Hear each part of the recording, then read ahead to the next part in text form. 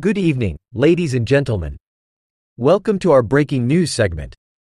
Today, we have a captivating story that has been circulating on social media platforms. Rumors are swirling that music mogul Diddy, also known as Sean Combs, has allegedly reappeared in Miami and made a bold statement regarding those who wronged him. Our correspondent on the ground, Sarah Thompson, has the latest updates for us. Let's go to Sarah. Thank you, John. I'm here in Miami, where the city is buzzing with the news of Diddy's alleged reappearance and the controversial statement he reportedly made. According to witnesses, Diddy emerged at a popular nightclub late last night, accompanied by a group of close friends and associates. I couldn't believe my eyes. Diddy walked in with such confidence and determination.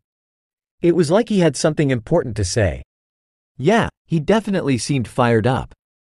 He was surrounded by his crew, and you could sense some tension in the air. Eyewitnesses claim that Diddy took the stage and addressed the crowd directly, making a statement that sent shockwaves through the venue. Ladies and gentlemen, I'm back, and I'm ready to make everyone who wronged me pay. The game has changed, and I won't rest until justice is served. While these reports have gone viral, it's important to note that we have not received any official statement or confirmation from Diddy or his representatives regarding this alleged incident.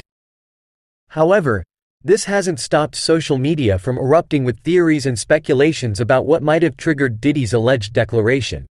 Some speculate that Diddy's statement could be related to past business disputes or personal grievances, while others believe it could be a strategic move to regain his position in the music industry. The truth behind Diddy's alleged declaration remains a mystery at this point. We reached out to Diddy's representatives for a comment, but they have not responded to our inquiries yet. It's worth noting that Diddy is known for his influence in the entertainment industry, and he has made significant contributions as an artist, producer, and entrepreneur.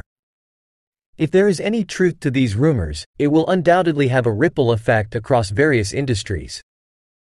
Thank you, Sarah, for that detailed report. We'll continue to monitor this developing story closely and provide updates as soon as we receive any official statements or further information. For now, we encourage our viewers to remain cautious and avoid jumping to conclusions based solely on unverified reports. That concludes our breaking news segment for tonight. Thank you for joining us. Stay tuned for more updates on this story and other news happening around the world. Good night.